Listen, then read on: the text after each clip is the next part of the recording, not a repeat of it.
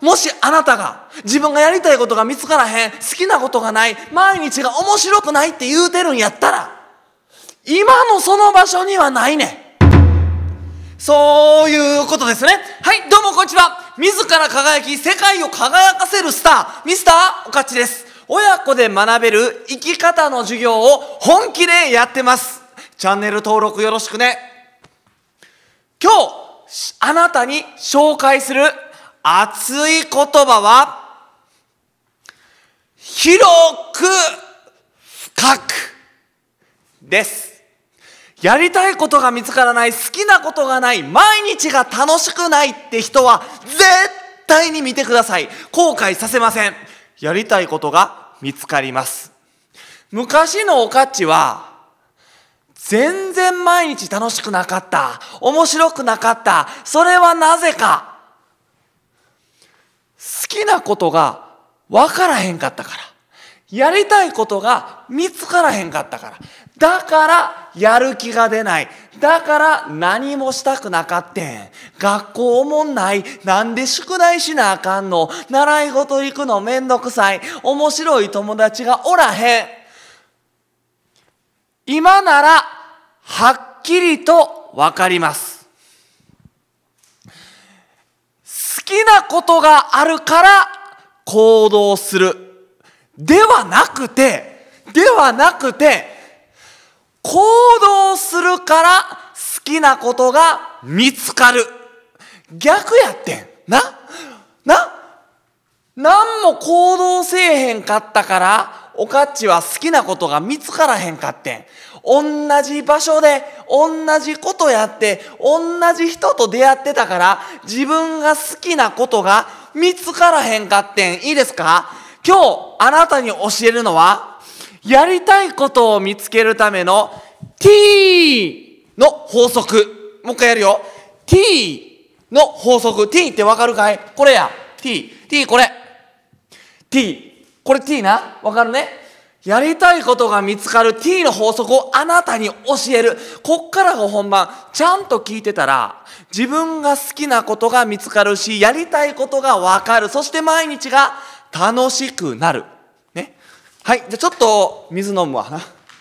はい。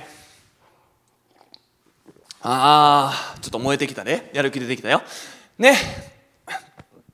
おかっちが好きなこと、バスケットボールと、ここの教室、子供を教える学校、そして一番大切な優雅ちゃん。これをどうやって見つけたのか、全部 T やって。T さっきも言うた。昔のおかっちは何やっても楽しくない。全然面白くない。だから自分のことも好きじゃなかった。だって全然行動してなかったからめんどくさいって口だけは動かすけど自分は全然この場所から動いてません。こんな自分が嫌やった。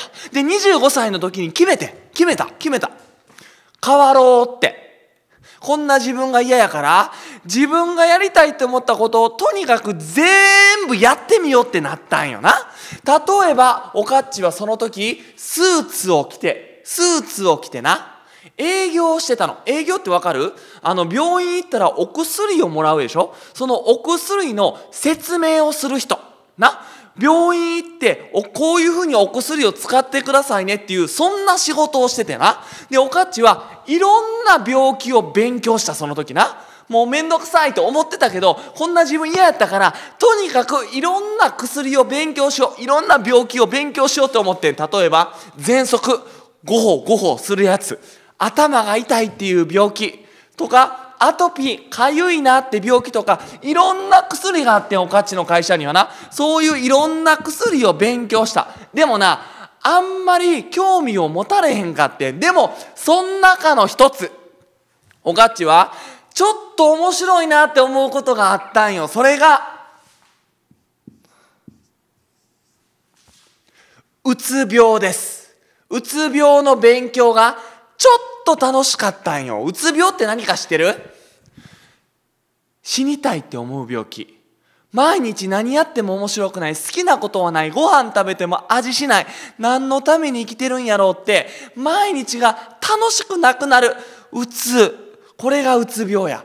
おかっち自身がまさにうつ病やったから。な？やる気出えへんし何もやりたくない。自分自身がうつやったからうつ病のことに興味を持ってんな。興味を持った。いろんなことを勉強した。いろんなことを勉強したけどその中でこのうつに興味を持った。その時におかっちはうつ病の本を読んでうつ病の勉強会本読んだりセミナー勉強会に行ったりお医者さんの話をお医者さんの話を聞いたりいろんなことを勉強しました。学びました。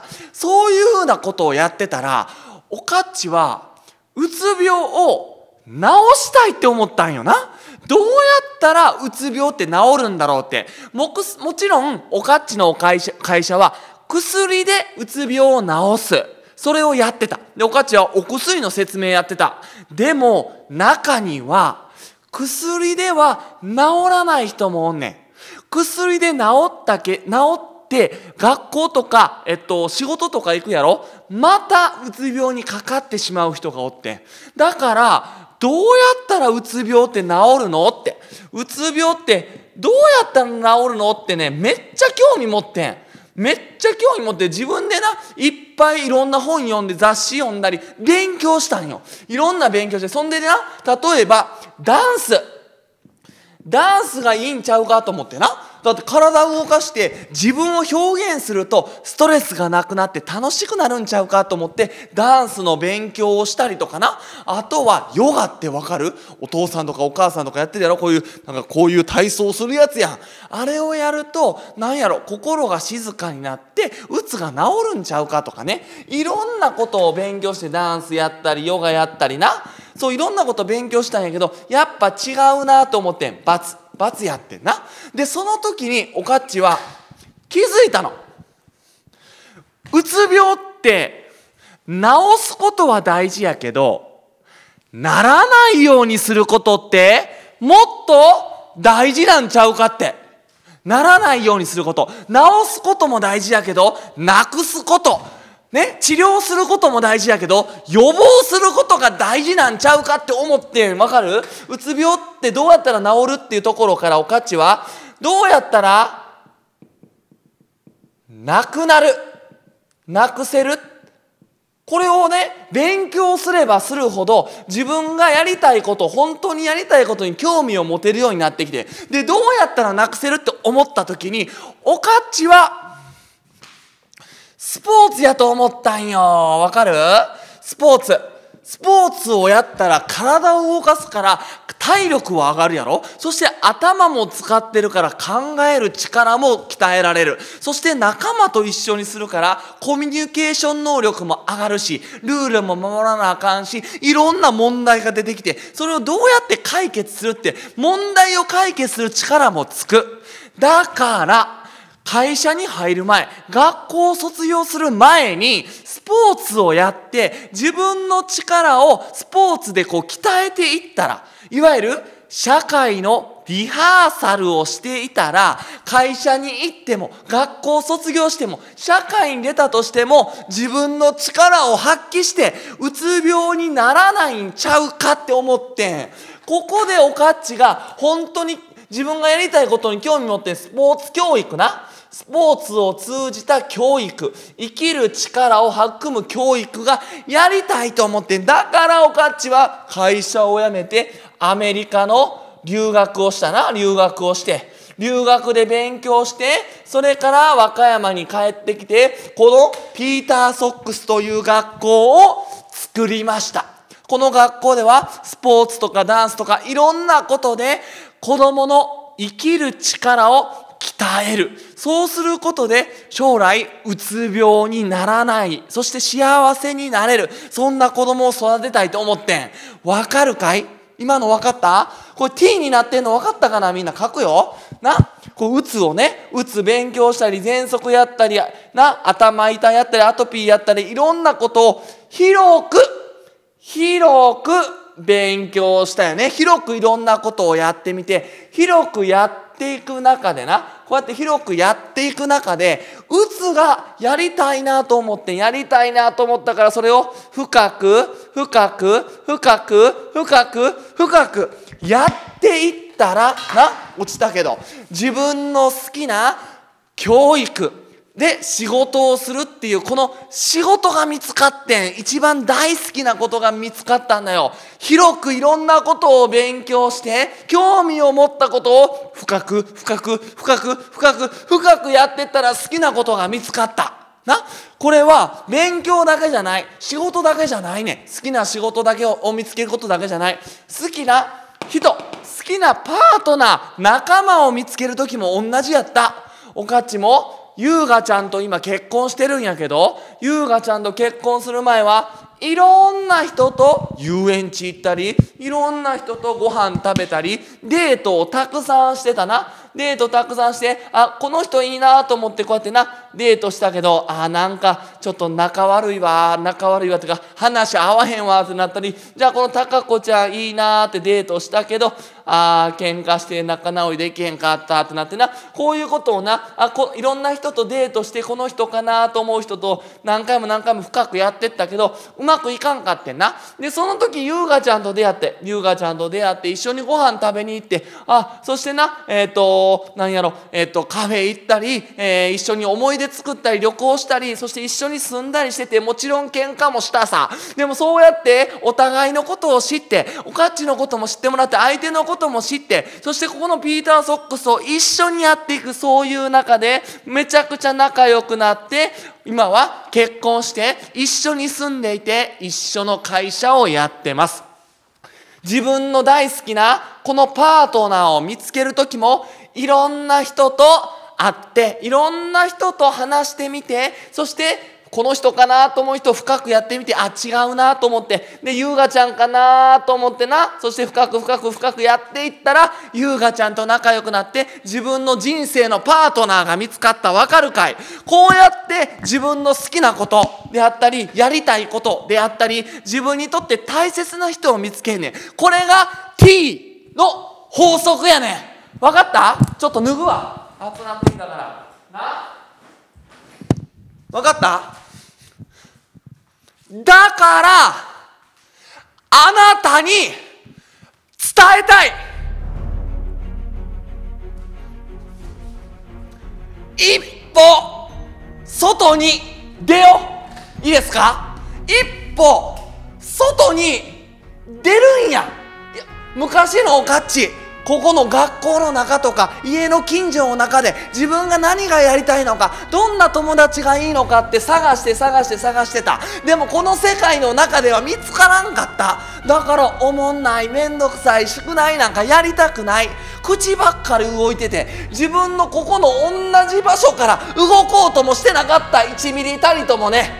そんな状態で自分の大好きな人であったり大好きな仕事であったりそして大好きなスポーツバスケットボールは絶対に見つからんかった。なぜなら大好きな人はここにいるし大好きな仕事はここそして大好きなスポーツはここにあるからここにずっといてても見つからへんねん。わかるかい？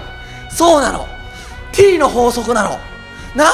自分がここの大好きな人好きな仕事とかを見つけるためにはまずはここの今いる場所から一歩外に出てみて一歩外に出てみてえいろんなことをやってみる。おかっちもギターやったりな。ラクロスっていう網ちょこんとついてるスポーツをやったりそしてマイクマイクを握って歌の教室にも通ったさ。それやったりもちろん英語勉強したりいろんなことに挑戦してトライしていろんな人とデートしていろんな人と遊んで友達を作った。でもその中でこの人が大切やって思ったりこれをもう少しやってみたいこれをもうちょっとうつを勉強してみたいと思ってから広くやるのをちょっとやめてみて深く広くから深くに変わったんやな。いいですか？広くから深く。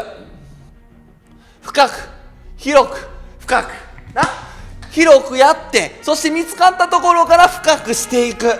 そうすることで自分はうつ病をなくしたいっていう自分が本当にやりたいことに気づいて会社を辞めてアメリカに留学してでここのピーターソックスを作ってうつ病をなくすための活動をやってる。一人一人の生きる力を高めて自ら輝く人を育てるってことをやってる。バスケットボールを通じてダンスを通じて英語を通じてそれをこの学校で大好きなパートナーとやってる。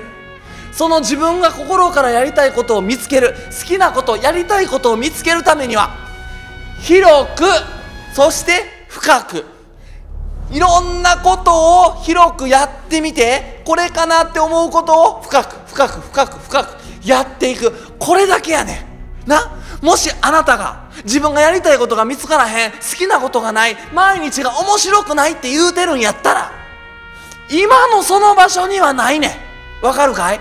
今出会ってるその人ではないし今やってることではないかもしれへん。だから今やってること学校で勉強してること以外のことを勉強してみるとか学校でやってるスポーツ以外のことをやってみるとか学校の友達ではない人と遊んでみるとか広くいろんなことをやってみよう。いいですか？かじってみんねん。な？いろんなものをかじってみたらこれが好きこれが嫌いっていうのが分かってくる。いろんな服を着てみたら S サイズは合わへん M の方がいいとかな。この色が似合うとか分かってくんねん。それは広くいろんなことをやってるからやねん。いいですか？広く深く T の法則。そうすることであなたが本当当にやりたいことが見つかる。本当の仲間本当の友達が見つかる。自ら輝けば世界は輝く。I am a star. You are a star.